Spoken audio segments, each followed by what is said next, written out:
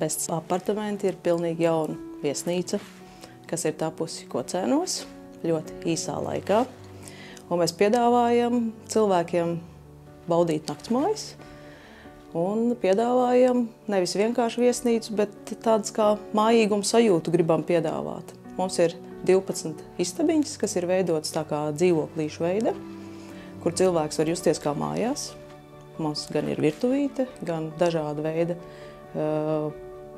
izvietojuma gultas. Tas ir nu, gan divvietīgie numuriņi, gan trīsvietīgie, četrvietīgie pēc cilvēku vajadzībām.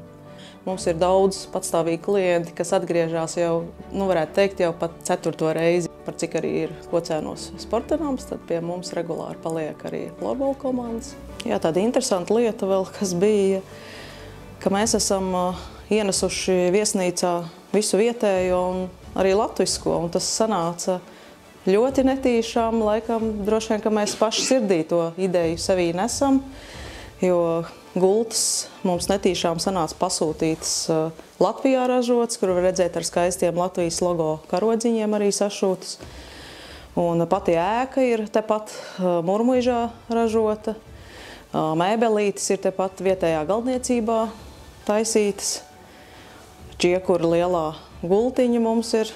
Veļa ir speciāli šūdināta mežozē firmā Rīgā. Tā kā viss ir vietējais, elpo viss ar latvisko. Paldies arī vietējiem iedzīvotājiem, paldies Kocēnu domai arī, kas tā pozitīvi ar mums sadarbojās un atbalstīja to mūsu ideju. Un es domāju, ka mēs ļoti draudzīgi šeit dzīvojam. Paldies vietējiem iedzīvotājiem arī, kas ļoti aktīvi izmanto mūsu viesnīcu. Kad ir svētki, uz Ziemassvētku jaunā gada sagaidīšanas laiku, mēs ļoti daudz ko cienu iedzīvotāju viesus izmitinājām, arī, ka tas arī ir komfortabli arī vietējiem iedzīvotājiem. Un paldies, protams, kad Ladam un līderu projektam par iespēju realizēt daļu, daļu finansējumu no šīs viesnīcas.